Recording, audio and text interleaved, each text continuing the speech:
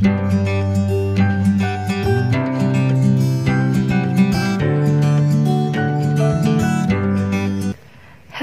mga ka-lover! Charot, hindi ka-lover mo. Mga coffee craft ko, mga brew. Welcome back to my YouTube channel. So yes, ito ang ating bagong gagawin. Nakita nyo naman kung, syempre may idea na kayo kung anong gagawin natin, ano? So, ituloy-tuloy na natin.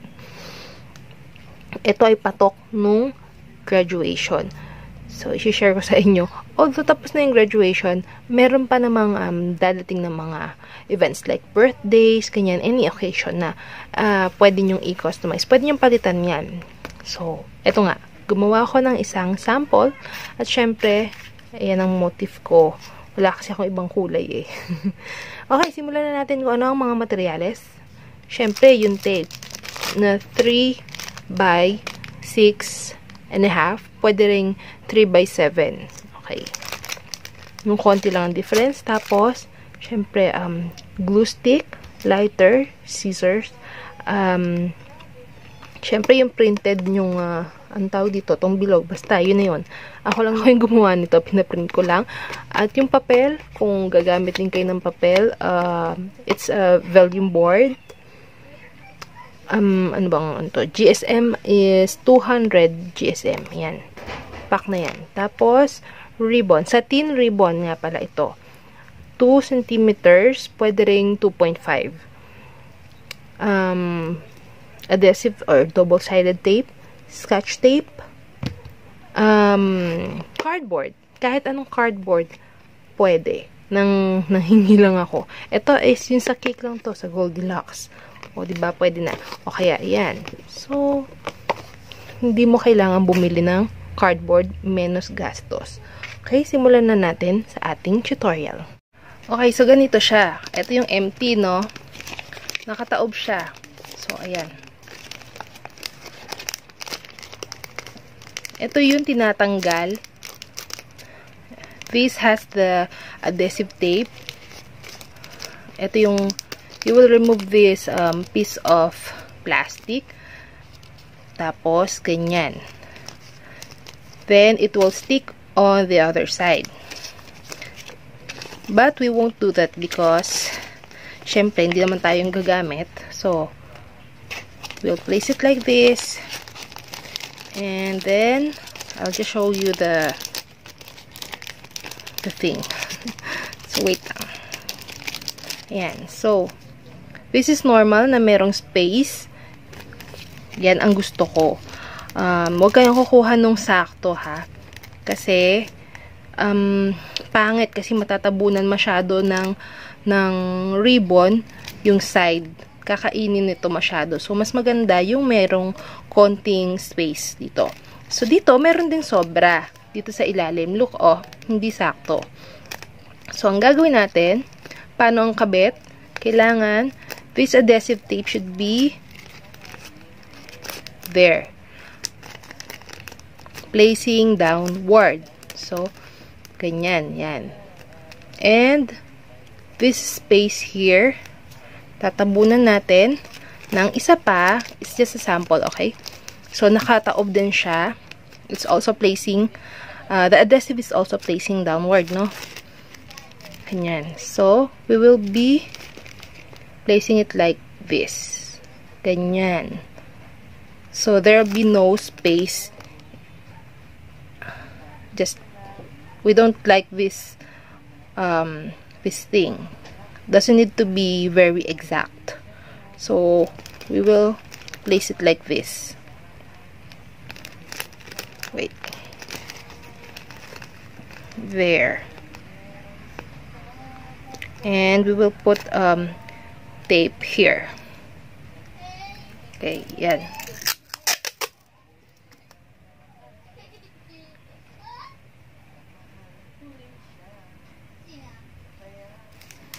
Yan. Ganyan yung naging itsura niya.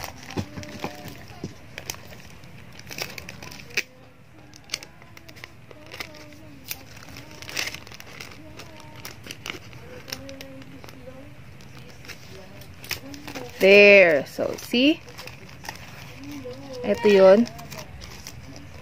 Oh, diba? So, uh, nakagawa na ako ng mahaba. So, it has uh, 10 10 pieces, 10 plastics for adults. And by the way, yung size ng bilog, the diameter for adult that I made is 4 inches. 4 inches. For um, kinder, kaya pang bata, nasa 3 inches lang siya. Nasa sa inyo kung gusto nyong lakihan.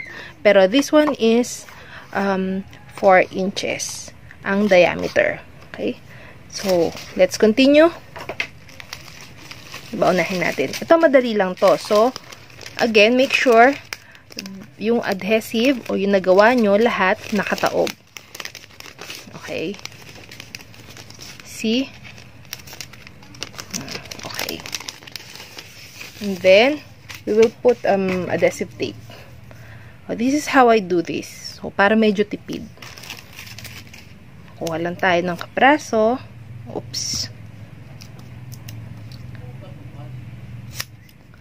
Then, I will cut it into half. Into half. Yan. Para tipid nga. And, there. Then, this is the adhesive, which is also downward.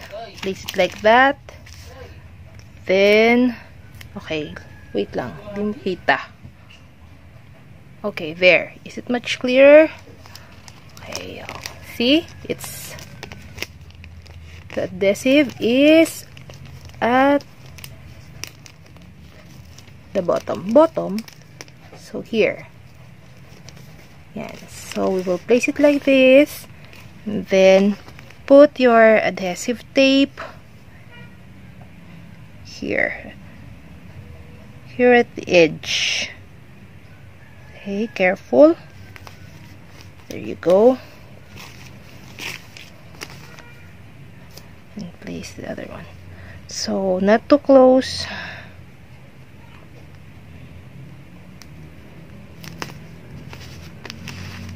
there you go and we will continue it on both sides so mas maganda na sa flat surface kayo magdikit-dikit, no? Maglagay ng adhesive to avoid um, creases.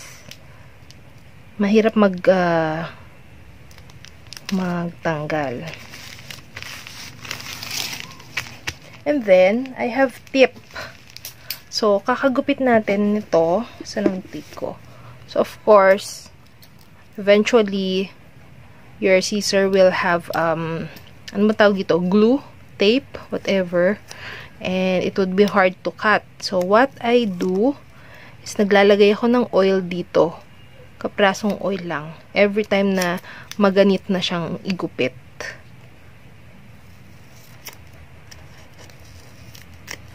Yan.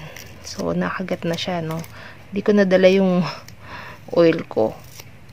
So, if you have, um, yung mga expired na oil, meron kasi akong expired na oil sa buhok. Hindi ko ginamit. Kasi nagka-allergy ako dun. So, yun. Hindi ko siya tinapon. Mapapakinabangan pala siya. So, there you go. And, I'll get back to you once it's done. It's okay. Pakita ko lang sa inyo. Tingnan nyo, oh. Mag, ano siya, madikit na siya masyado. Ayan, oh mahirap na siyang igupit.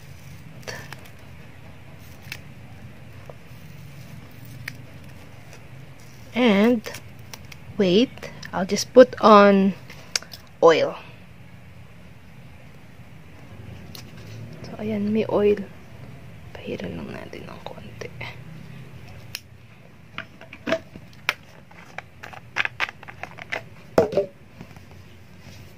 Tapos, igupit na natin dito.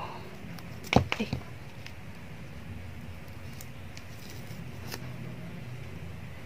Ang hirap, meron din akong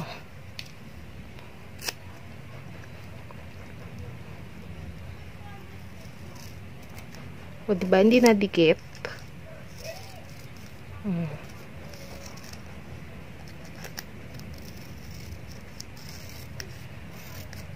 Oh, see? Mas smooth. So, yun lang. So, ngayon, magdidikit na tayo. Tatanggalin mo lang siya. Simple lang yan.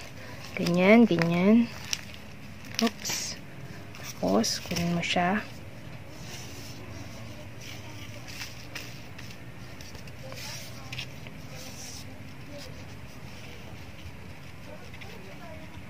Careful. So, sobrahan mo ng konti dito sa labas, sa baba niya, no? Hindi saktong-sakto. And then,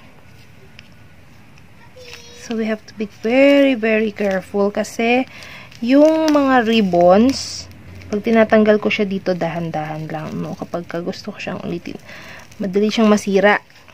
Kasi hindi naman to yung premium quality na, na ribbon. So, kailangan magaling kang tumansya. Kaya may mga nasasayang din na ribbons. Diskartehan mo na lang. Ganyan. Okay. Dahan-dahan. Then, sa sukat. Gaano kahaba ang kakailanganin? Per side, per side is 66 inches. So, 66 times 2. No? Tapos, dito ay 3 inches times 2. So, ayun muna. Mamaya, sasabihin ko rin yung sa bilog, yung sukat. Tutuloy ko muna to. And, babalikan ko kayo. So, yan.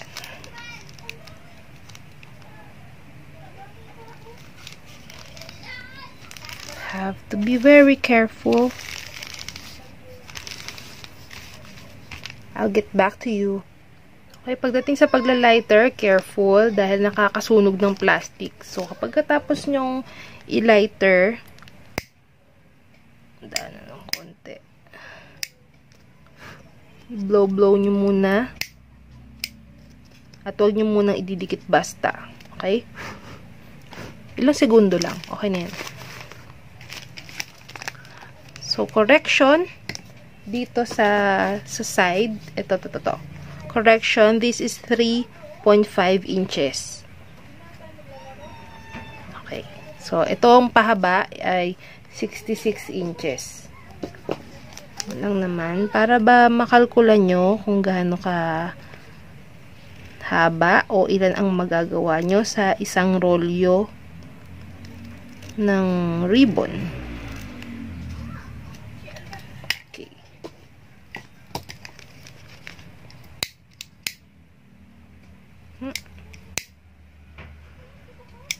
Yan. And then, we will put adhesive tape. Asa na yun? Wala yung aking adhesive tape.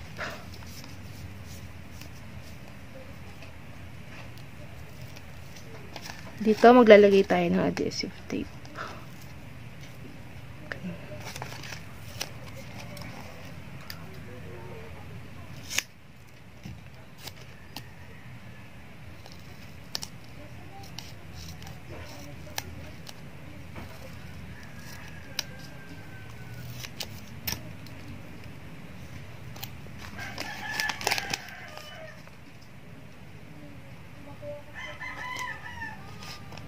Yan.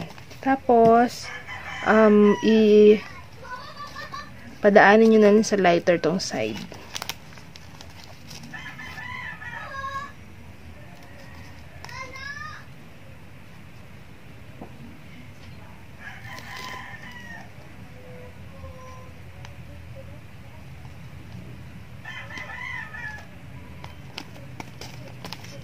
There you go. Yan, medyo pangit siya. Ganyan. Kaya ganun din sa kabilang side.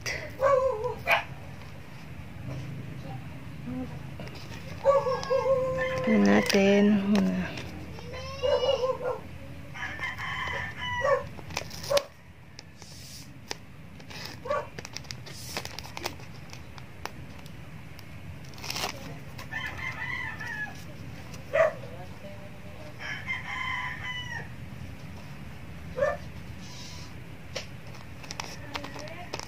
Yan. Pag may sobra, i-lighter.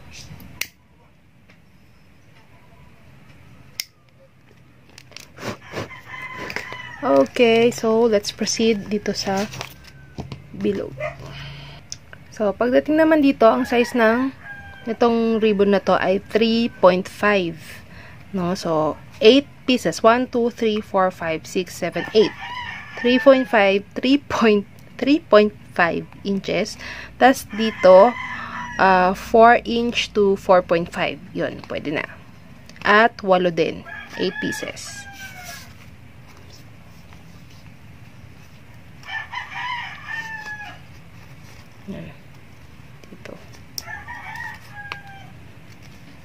Oops.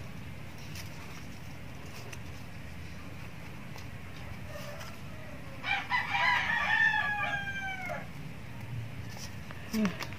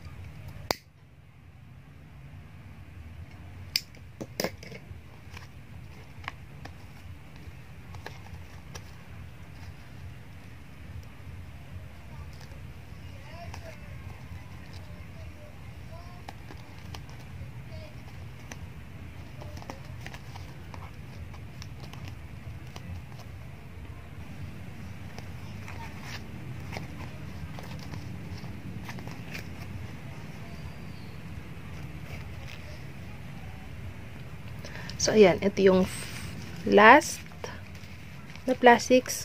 Plastics. Ito yung last. So, one, two. Ayan o. Tapos, ididikit natin to pag ganon. Okay?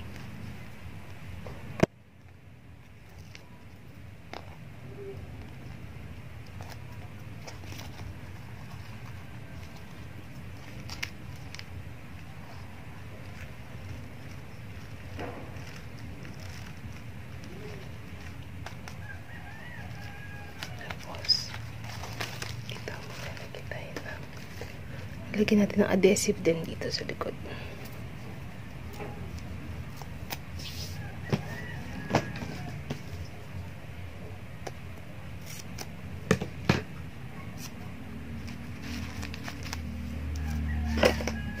Yan yun. Mm -hmm.